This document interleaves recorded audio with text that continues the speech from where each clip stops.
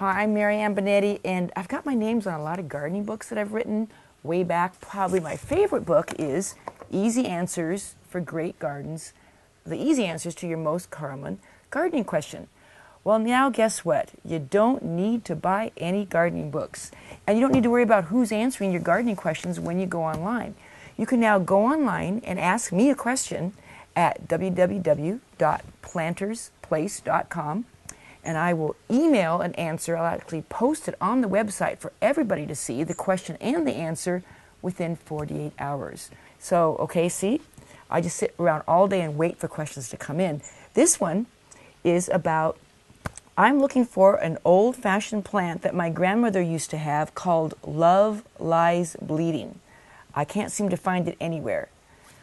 Great question. I would be posting the answer on plantersplace.com so everybody could read the question and the answer. And here's that plant. It used to be called Love Lies Bleeding. It's also been called the chenille plant. It's also been called summer poinsettia. And that's the problem with common names. Depending on where you live in the country, different plants have different common names.